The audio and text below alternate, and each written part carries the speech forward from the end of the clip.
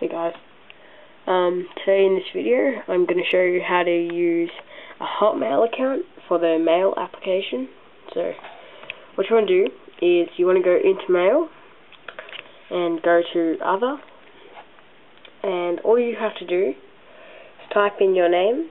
So, say name, just, um, just using anything.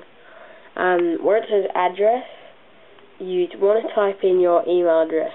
So what you will do is type in, let's just say, I know, SAD. Say your email address is SAD. You must type in at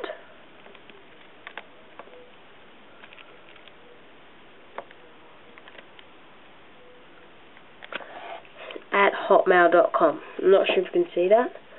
So you type in your email address and then you have to type at hotmail.com. Okay?